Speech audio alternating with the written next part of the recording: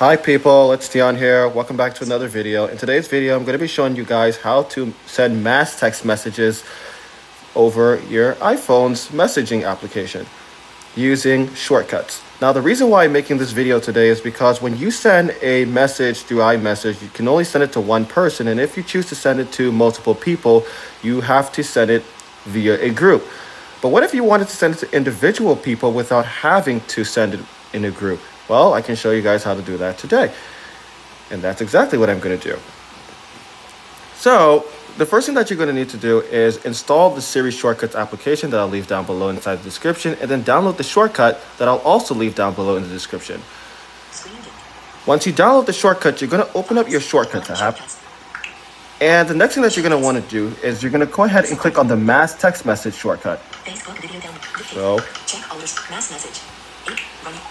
message. Once you click on the mass text message shortcut, it'll automatically start running and you're going to type in the message that you'd like to send to people. So I'm going to go ahead and type this message in and I'll be right back. Okay, so I typed the message in here. So the next thing that I'm going to do is I'm going to go ahead and click done.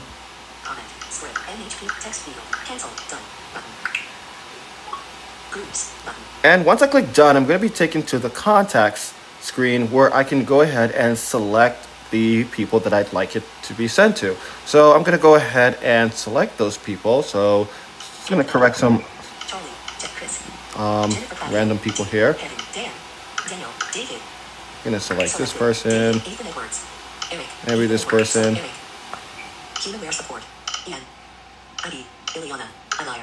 And I'm going to select this person and this person. All right. There we go. So once we go ahead and select that, we're going to go up to the top of our screen here. And we're going to go ahead and hit done. Just going to unmute my phone here. And once I click done, you're going to hear the iMessage sound whenever a message is sent. So let's click done here. Shortcuts. Shortcut finished.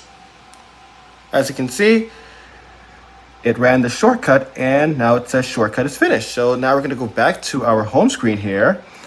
And what we're going to do here is we're going to go into our messages application here. And once we go into messages, we can see that the message was sent to everyone individually. So that is how you send mass text messages to people on iPhone. Hope you guys really enjoyed the video. For more Apple content, subscribe. And I will see you guys in the next video. Peace out.